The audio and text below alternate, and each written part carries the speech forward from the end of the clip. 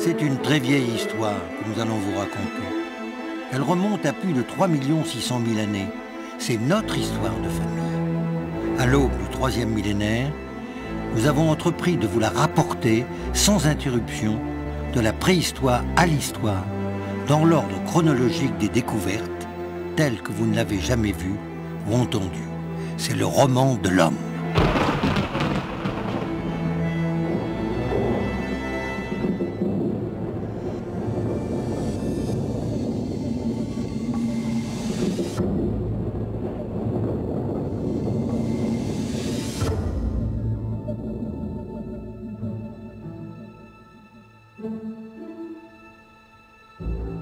En février 1925, pour la première fois, le sous-sol africain restitue l'un de nos plus anciens ancêtres, et Raymond Dart, qui l'a découvert, le baptise Australopithecus africanus.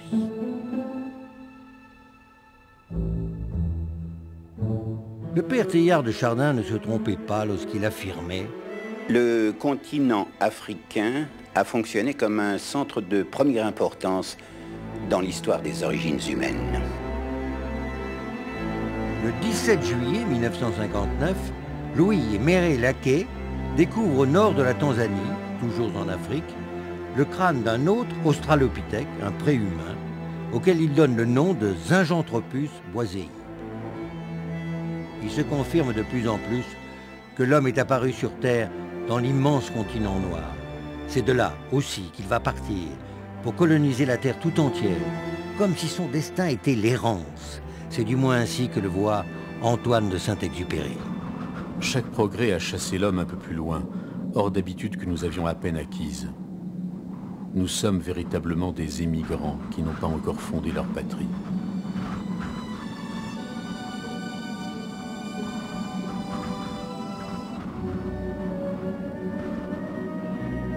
À la différence des premiers hommes singes, qui ne s'aventuraient guère hors de leur zone de chasse et de cueillette, l'homme qui part d'Afrique, il y a 2 millions d'années, va oser affronter l'inconnu.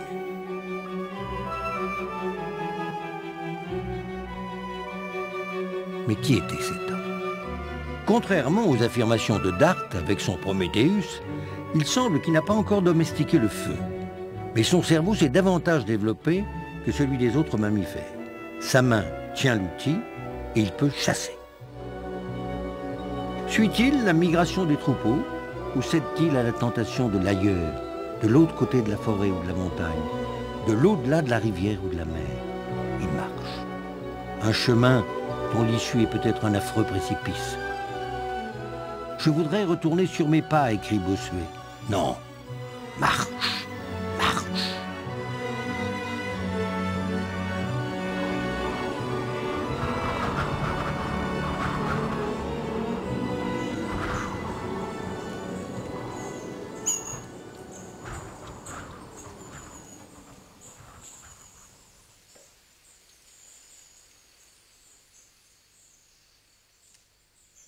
Pendant l'histoire du quaternaire, pendant l'histoire de l'homme, pendant 2 millions d'années, il y a eu des phases de glaciation environ tous les 100 000 ans. Et ces phases de glaciation ont stocké tellement de glace sur le pôle, notamment sur le pôle nord, que le niveau des mers a baissé de 120 à 150 mètres selon les endroits. Donc, de nombreuses îles étaient colonisables. C'est ainsi que l'homme érigé a colonisé l'île de Java. Ils sont passés en Eurasie. Ils ont gagné l'Europe, sans doute à partir du Moyen-Orient.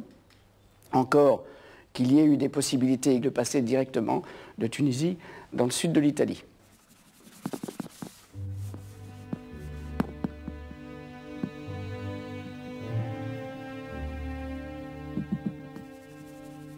Sans doute l'esprit de découverte, la volonté d'aller voir ailleurs, la recherche d'un autre monde a amené les hommes progressivement à coloniser les territoires qui étaient disponibles. Edmond Haraucourt raconte dans son roman Daha comment le premier homme conduisit sa horde au pays des soleils. Jamais encore les nomades n'avaient vu un ciel si pur. Jamais le bleu n'avait persisté si longtemps. Ébloui, la bouche ouverte, les yeux mi-clos, ils regardaient à travers de leurs cils cette splendeur qui blesse les prunelles. La mer, subitement bleue, miroitait. Une multitude de petits soleils dansaient sur elle et crépitaient, plus nombreux que les moucherons sur les mares.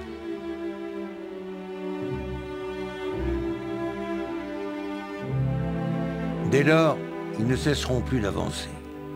Vers moins 900 000 ans, ils découvrent les rives françaises de la Méditerranée.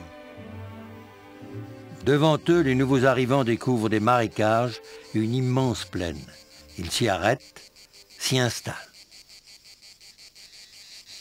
Le 18 avril 1958, René Pascal découvre la grotte du Vallonnet. Un étroit couloir conduit à une salle d'environ 25 mètres carrés. C'est sûr, un homme préhistorique a séjourné là. Il y a vécu, il a laissé des traces de son passage, notamment des galets de calcaire, dont le tranchant a été obtenu par percussion, ainsi que des os de 25 espèces d'animaux, des os coupés et taillés.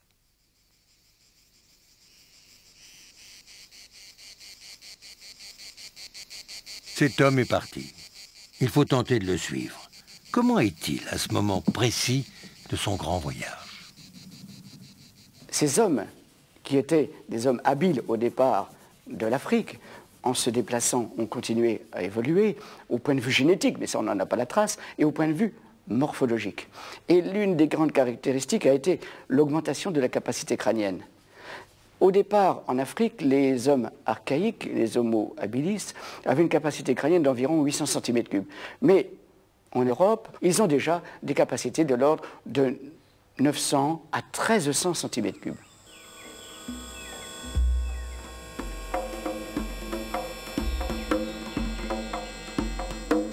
Aille, l'homme ne rencontre jamais son semblable. Autour de lui, au fur et à mesure qu'il avance, le décor change. La faune et la flore sont différents, les cieux et les climats aussi. Mais ce nouveau monde, pour lui, demeure le même en un seul point. Il est vide de toute présence humaine. Lorsqu'il est parti, l'homme préhistorique est parti, on peut dire, dans un environnement climatique relativement facile, un climat chaud, où on n'a pas besoin d'être habillé euh, très fortement. Mais lorsqu'il est arrivé en Europe, et notamment aux alentours de 900 000 ans, de 800 000 ans, il y a eu des phases de refroidissement très importantes. Et là, l'homme a dû être obligé de se vêtir. Et il a fallu qu'il cherche, à partir des animaux, à se trouver des moyens de vêtements. S'envelopper les pieds, notamment lorsqu'il marchait dans la neige ou lorsqu'il était amené à, à marcher dans la boue, tout cela a dû être un changement de comportement extrêmement important et il a pu trouver dans la faune ambiante des éléments pour répondre à ses besoins.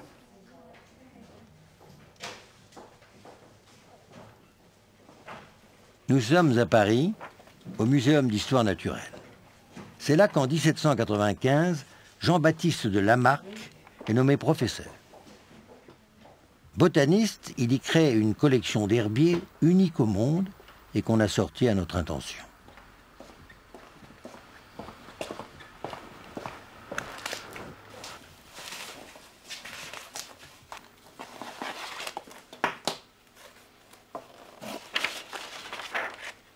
Lamarck estimait que les espèces changeaient parce que le monde changeait et qu'elles devaient s'y adapter. Le voyage allait donc transformer les conditions d'alimentation de l'homme. L'herbier, au fond, c'est le livre de recettes de nos ancêtres. Ils se nourrissaient de plantes, d'insectes et de larves. Au hasard de ces expéditions, l'homme allait trouver de nouveaux végétaux, comme ces fougères, une des plus anciennes espèces.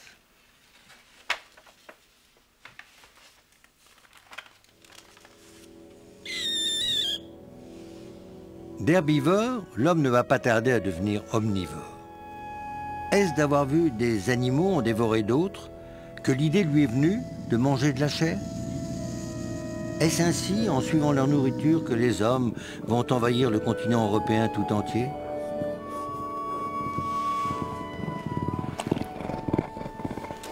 Sous leurs pieds, la planète est en mutation grandiose. et Lifford l'a décrit aux prises avec ses métamorphoses. La Terre commençait à moins tressaillir des forces souterraines. L'affermissement de l'écorce terrestre, les pluies et les vents régularisés par les bois, la succession mieux rythmée des saisons introduisait dans la nature une harmonie plus apparente. Les chevaux, les bisons, les aurochs remplissaient les bois. Le renne, ami des glaces qui descendait des Pyrénées jusqu'à la lisière des plaines, y vivait en troupes nombreuses.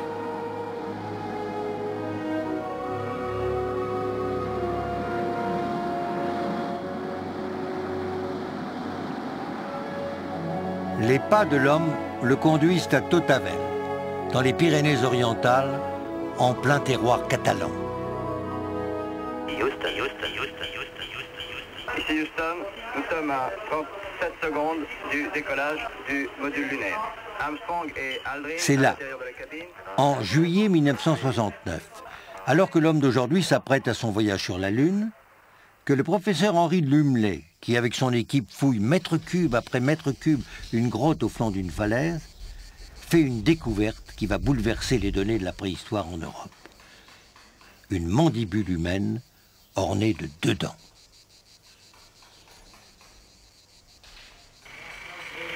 Tiens, bonjour monsieur le maire. Bonjour, monsieur l'abbé. Comment allez-vous? Bonjour, messieurs, dames, ça va? Ça va un peu chaud demain? Mais je viens voir d'abord toutes ces belles découvertes. Ben oui, c'est le de travail. Et puis voir un petit peu cette fameuse mandibule dont Ah on oui. parle depuis quelques jours. Et... Ah oui. On va aller là-bas, on est en train de la Ah, dégager, on peut dégager. C'est bien. J'aperçois les deux dames.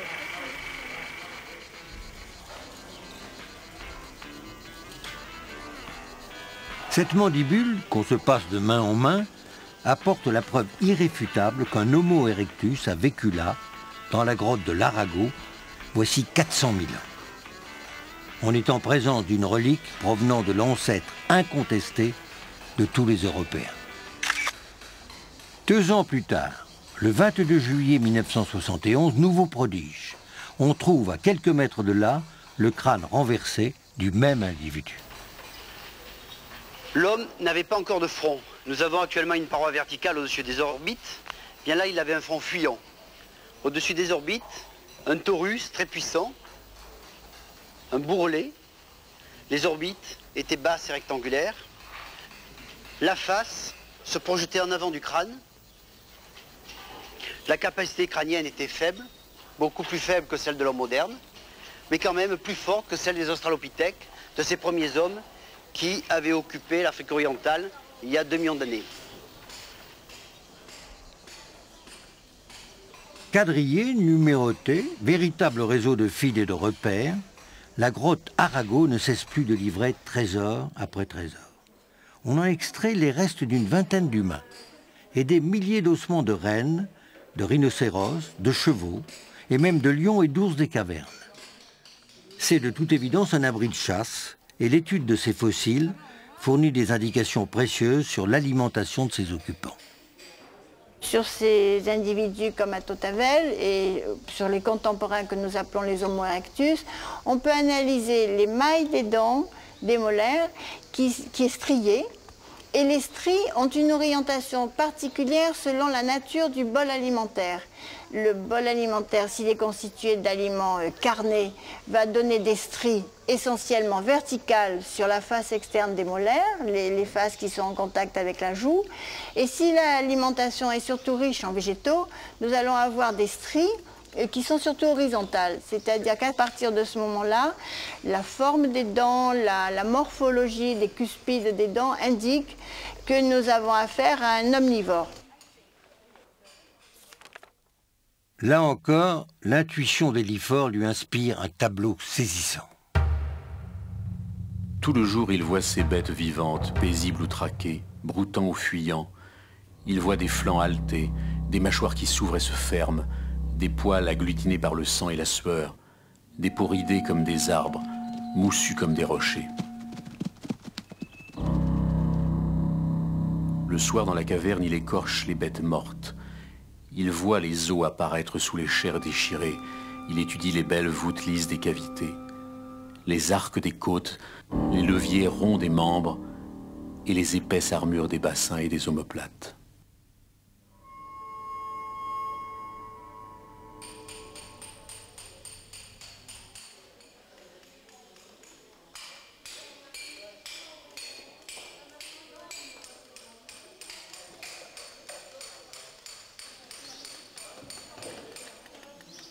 Les hommes qui vivaient dans la côte de l'Arago étaient d'excellents chasseurs, comme en témoigne la masse considérable d'ossements qui sont accumulés dans cette caverne. Par exemple, dans le Solgé, nous avons des véritables amas d'ossements qui correspondent à des ateliers de boucherie, où nous avons pêle-mêle des ossements de bisons, de rhinocéros, d'éléphants. Et tous ces ossements, entremêlés, brisés, fracturés, sont manifestement des déchets culinaires. Et les ossements humains par exemple le crâne et le pariétal, mais aussi les fémurs humains, les péronés humains, gisaient là sur le sol au même titre que les autres déchets culinaires.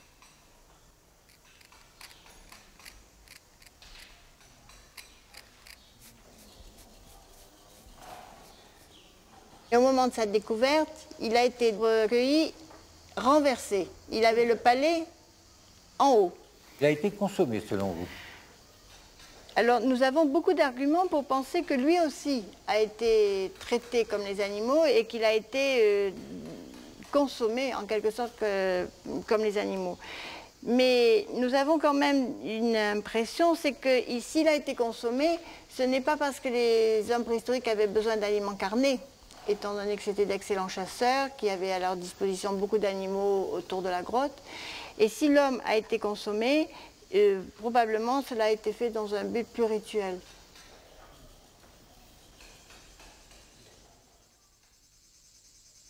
De très nombreuses interrogations subsistent. Elles foisonnent. Cannibale ou charognard?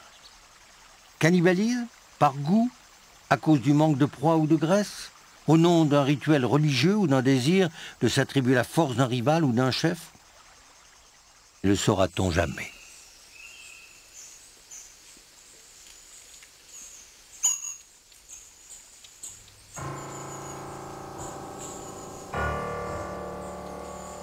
Né herbivore, l'homme était devenu omnivore par charognage selon les uns, par la chasse et la pêche selon les autres. Dès lors, il est amené à tuer pour se nourrir. Pendant très longtemps, on a considéré comme acquis que l'homme était dès le départ un chasseur, mais on a considéré que c'est précisément parce qu'il était chasseur qu'il est devenu l'homme que nous connaissons. Et puis, tout d'un coup, on s'est trouvé avec d'un côté euh, des sortes d'herbivores, euh, bon, disons des végétariens pour être plus sérieux, et puis de l'autre des charognards euh, assez misérables qui attendaient que les hyènes aient fini leur repas pour ensuite aller grappiller quelques morceaux de viande. C'est une affirmation qui me paraît en fait difficile à soutenir. On ne connaît pas de primates charognards. On connaît en revanche un bon nombre de primates qui chassent et qui pour certains d'entre eux chassent bien, efficacement et souvent, en particulier chez certains groupes de chimpanzés. Mais c'est un comportement de chasse qui est en fait beaucoup plus répandu. On peut aller plus loin. Dans les sites anciens, ce que nous avons, ce sont des restes osseux qui correspondent aux parties les plus riches en viande du squelette animal. Donc les ossements que l'on a transportés jusqu'à ces sites sont des ossements euh, qui viennent soit d'une chasse, soit d'un piratage euh, d'une proie entière, puisqu'il a été possible justement euh, d'en préserver les parties les plus riches en viande. Et l'on observe qu'en fait, les animaux qui font de ce type de piratage de proie sont également des chasseurs. Et c'est l'ensemble de ces raisons qui me font penser que l'hypothèse d'un charognage n'est nullement euh, supportée, soutenue par les données archéologiques.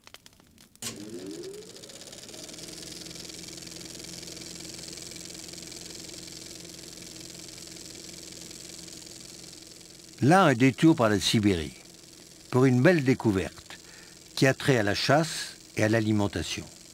C'est celle du petit mammouth naturellement congelé dans un bloc de glace depuis 44 000 ans. Il a été découvert lors de la construction du chemin de fer Russie-Chine. Il est âgé de 8 mois et pèse 80 kilos. Des images jusqu'ici encore jamais vues hors de Russie.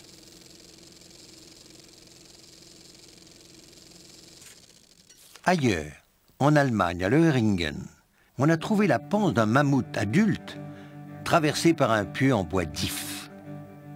La chasse. Un rituel, un art, un moyen de survie.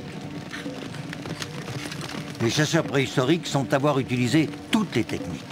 Seuls ou en groupe, ils se camouflent, cernent des troupeaux de rennes ou de chevaux, les contraignent en allumant des feux ou en poussant des cris à se jeter d'eux-mêmes dans des précipices ou dans des fosses.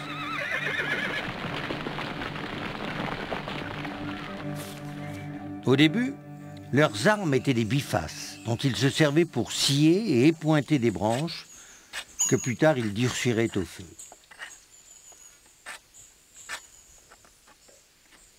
Ensuite, ils taillent des lames et les emmanchent. Avec une lance, les chasseurs n'ont plus à être en contact avec l'animal. Ils l'immobilisent et le tuent à distance. Ils façonnent ensuite des propulseurs dont la flèche porte jusqu'à 80 mètres. Ils règnent alors sur le territoire qui les entoure. Laurent Bernard, un passionné d'armes préhistoriques, a reconstitué cet arsenal pour nous.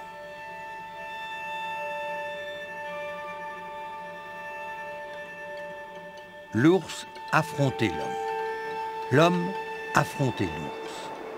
L'ours se nourrissait aussi de poissons.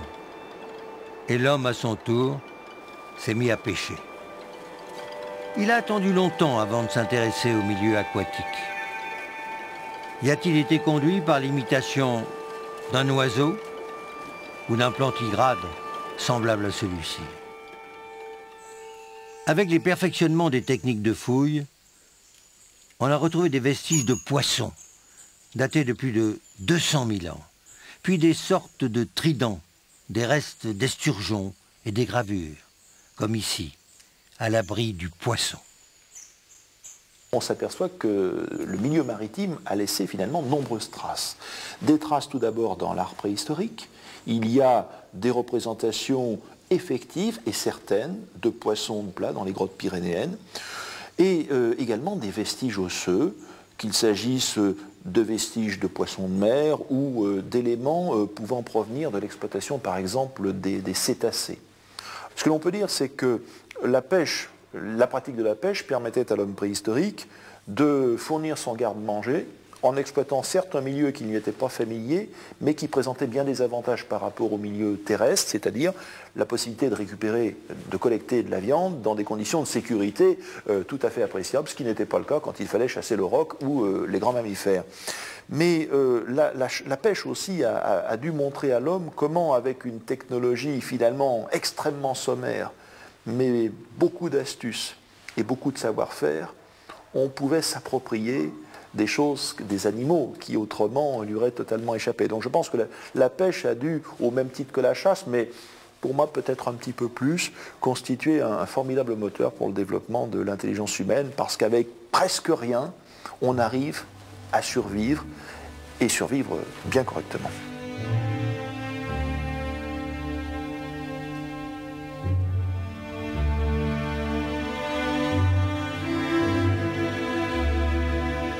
La chasse et la pêche sont à la fois le moyen et le but de la vie.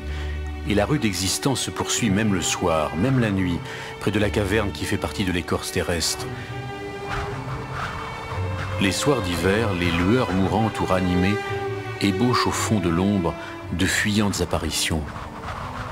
Ce sont les bêtes mortes qui reviennent, les bêtes à tuer qui narguent le chasseur, celles dont la tribu a tant mangé la chair, tant travaillé les os, qu'elles sont devenues pour elles des divinités protectrices.